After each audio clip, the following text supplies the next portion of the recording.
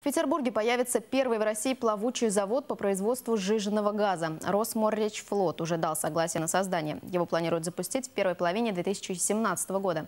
Предприятие разместится на трех несамоходных баржах на побережье Финского залива.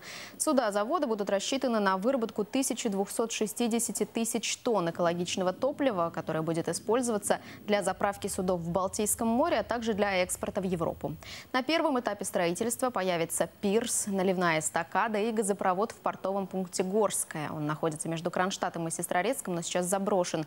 Кроме того, несколько терминалов планируется подготовить в Финляндии, Германии и Швеции.